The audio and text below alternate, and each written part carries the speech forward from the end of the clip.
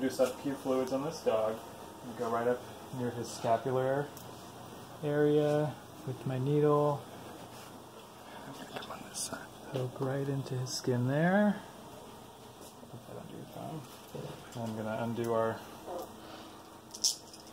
clamp. And he's getting 50 milliliters. So I'm going to measure on the bag where we are. We're right between the 4 and 5.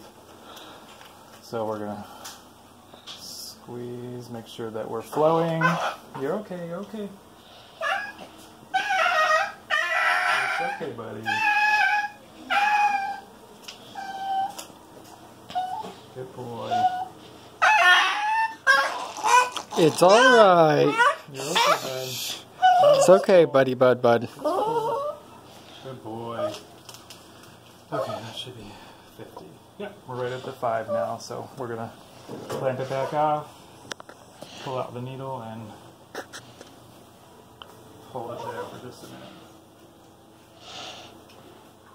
Good job, bud.